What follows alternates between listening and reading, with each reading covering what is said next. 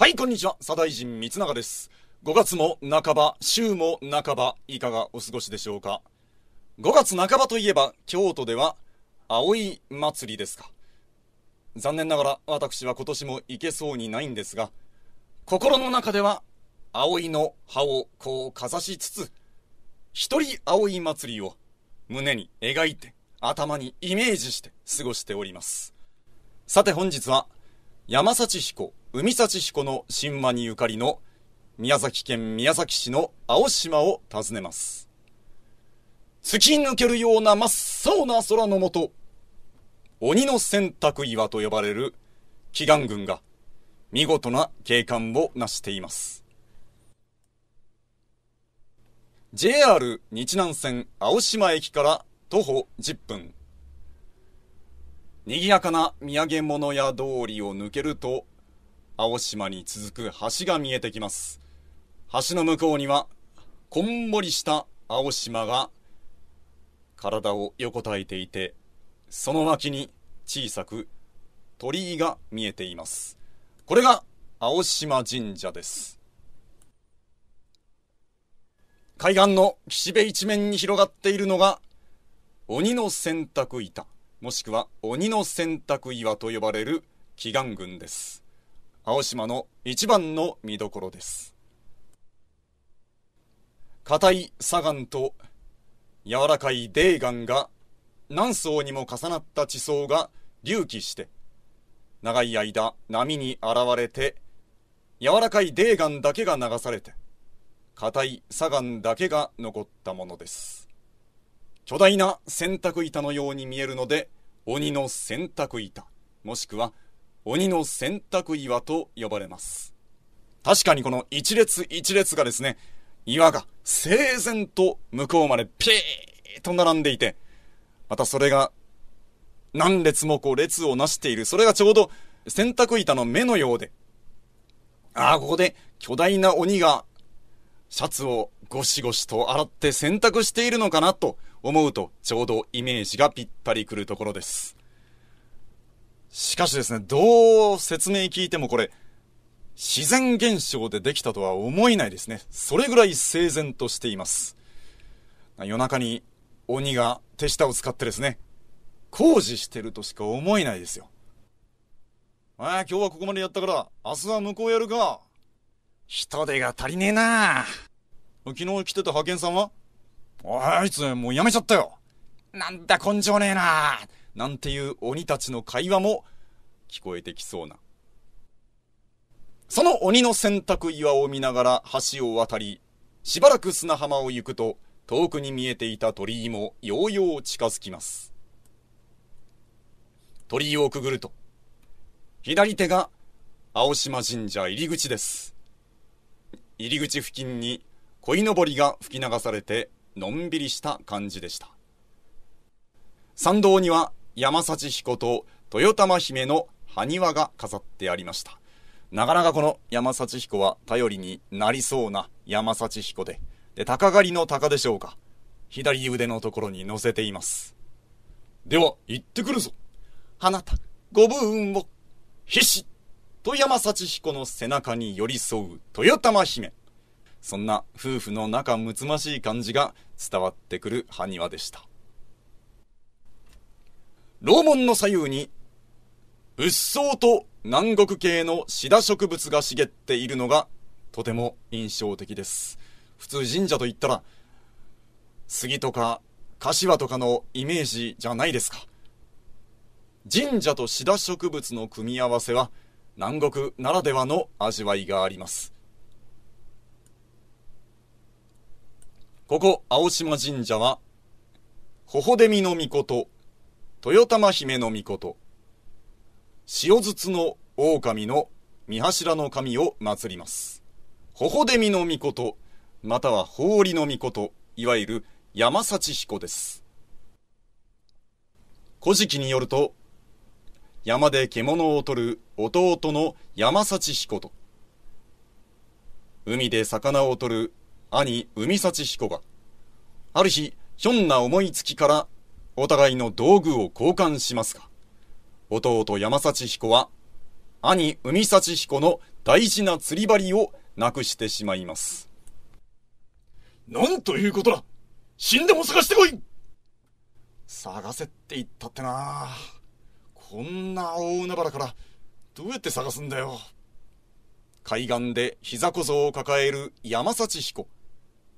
そこへ水の底からザバーと現れたのが、塩筒の狼、または塩土の狼です。若者よ、何を悩んでおる？実は、兄の大事な釣り針をなくしちゃって、探してこいって言われたんです。だってこの大海原から無理な話ですよ。ひどい兄だと思いませんか？うむならばこの船に乗るがよい。見ると、足の船が浮かんでいるので、山幸彦が乗り込むと、船は波に揺られ揺られて、和田摘の神の宮に到着しました。そこで出会ったお姫様が、和田摘の狼の娘、豊玉姫です。ま、なんていい男かしら。なんと美しいおみなごじゃ。一目惚れです。二人は猛スピードで結婚。夫婦となります。幸せのうちに過ごすこと3年。3年目に、山幸彦は兄のことをふっと思い出します。3年間全く思い出さなかったのが、遅すぎやろって気もしますけれども。だから地上に一旦帰ることにします。では、お父さん。兄とのことがあるので、私は地上に戻ります。うむ。兄を懲らしめたいなら、これを使うとよいぞよ。そう言って、妻の父、和田摘の狼が差し出したのは、潮道の玉、潮干の玉という水を自在に操る不思議な玉でした。これを使って、山幸彦は洪水を起こしたり、沈めたりして、兄である海幸彦を懲らしめ、勝利しました。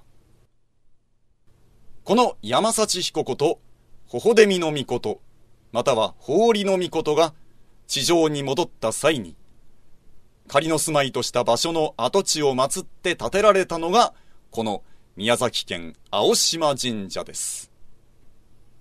ほほでみの御事と豊玉姫との間から生まれたのが、うがや吹合図の御事で、その子が、神山と言われびこの御事、すなわち初代神武天皇です。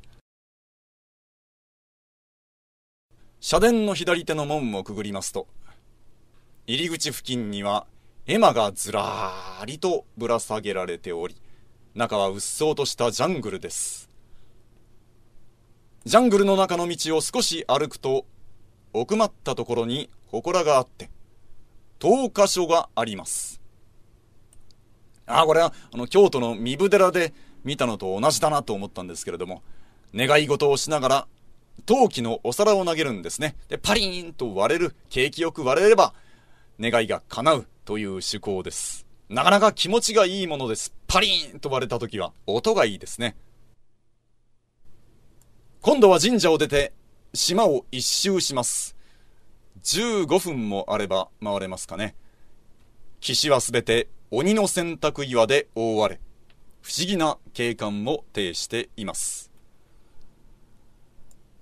鬼の洗濯岩には表面にくぼみがたくさんありまして、そのくぼみの中に海水が張っていて、カニや小魚がいっぱいいました。まカニと戯れていると時を忘れますね。パッと岩をどかしたら、大概そこにカニがいてですね。あれ？あれ？あれ？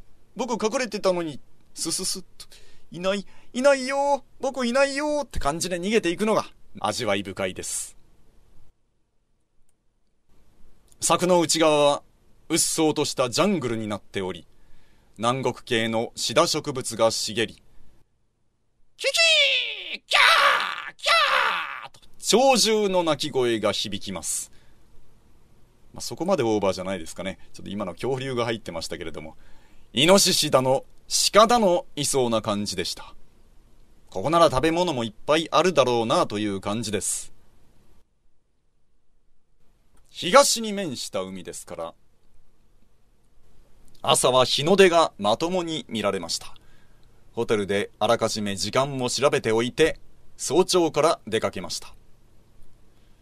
すでにこんもりとした青島の向こうがぼんやりと明るくなってきて、急がないと間に合わないと焦ります。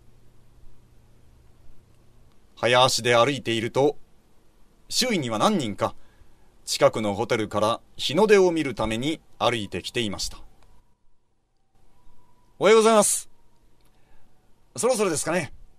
ええー、もう近いですね。自然に飛び交う会話。